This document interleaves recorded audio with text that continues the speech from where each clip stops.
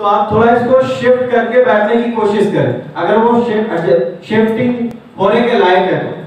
Clear है? Otherwise shift करने की ज़रूरत नहीं है। स्टार्टिंग में एक बार आप प्रॉपरली बैठ जाए। ध्यान से सुनेंगे एक बार आप प्रॉपरली बैठ जाए लाइक यहाँ से हमें बैठना है। पूरा कंप्लीट चेयर का इस्तेमाल करना। कुछ लोग यहाँ से बैठते हैं। देख पा रहे हैं आप मुझे? तो ये एक गैप नहीं रखना है। इससे क्या होगा कि आपको कंफर्ट नहीं मिलेगा। एक बार जब आप बैठ गए, फिर आप अपने आप को बार बार एडजस्ट नहीं कर सकते। इसलिए जब आप बैठोगे तो कंप्लीटली इस चेयर को प्रॉपरली यूज़ करना है। लाइक आप इस तरीके से पूरा यहाँ पे ऐसे कंप्लीटली बैठ गए, ठीक है? दूसरी चीज़ ध्यान रखेंगे कि आपका बॉडी इस एंगल में होना चाहिए 90 डिग्री ऐसे लीन होके नहीं बैठ सकते लाइक हम इंटरव्यू यहाँ देने के लिए आए हम ऐसा नहीं कि ऐसे ठाट से बैठ गए ठीक है? ये नहीं चलेगा।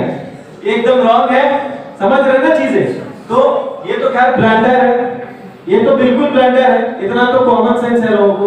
लेकिन ऐसे भी आप एकदम रिलैक्स नहीं बैठ सकते। ठीक है? ये बिल्कुल, ये एंगल रहेगा। जब आप आंसर करोगे, जैसे मैंने बताया कि यहाँ स्टेज परफॉर्मेंस में भी जब हम आंसर करते हैं तो हम थोड़ा लीन हो जाते हैं। लाइक वाइज जब यहाँ पे भी आप आंसर करो तो थोड़ा लीन होने की कोशिश करो। बोलने के दौरान। जैसे आप यहाँ पे बैठे हुए आंसरिंग के दौरान आप थोड़ा ऐसे लीन हो सकते हैं। देख लीजिए एक और चीज़। आपका बैठने के दौरान ये पोजीशन नहीं होना चाहिए। ये पोजीशन रिलैक्स पोजीशन होता है। थोड़ा सा एक्टिव पोजीशन लाइक दिस या फिर दिस अगर आपने किसी कोच के अंडर में कोई गेम खेला होगा लाइक वॉलीबॉल ठीक है क्रिकेट एंड ऑल तो आपको ये पोजीशन में नहीं रखा जाता। ट्रेनर एग्जैक्टली लाइक ये पोजीशन होगा या फिर ये पोजीशन क्योंकि ये थोड़ा ना रिलैक्स पोजीशन होता है। अगर आपको मूव करना है तो पहले ये करना होगा, उसके बाद मूव कर पाओगे। तो इसीलिए हम ये रनिंग मोड में रहे।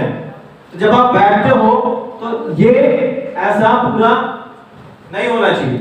या तो आप जब बोलेंगे तो थोड़ा इस तरीके से, या फिर थोड़ा इस तरीके से बोलेंगे तो active clear clear guys yes sir बैठ कर जेस्चर बहुत ज़्यादा मेंटेन नहीं करना है। जैसे मैं जो जेस्चर यूज़ कर रहा हूँ इस तरीके से।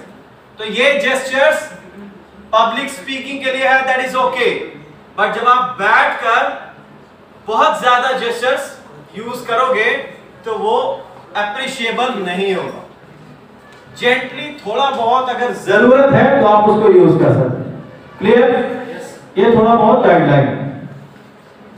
सृष्टि का एक बहुत अच्छा पॉइंट था यहाँ आकर वो ठहर गई।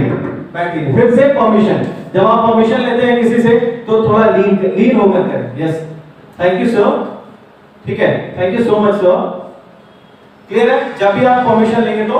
ये sir thank you so much sir थोड़ा लीन होंगे।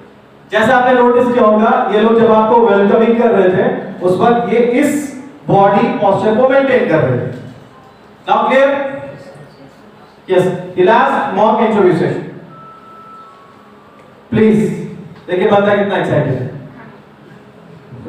बुलाते हैं किसी और को। किसी सीनियर को बुलाते हैं जरा आज के लिए last mock interview most probably UPSC aspirant is there anyone who is UPSC aspirant okay please come आज यूपीएससी का एग्ज़ाम है मालूम है ना?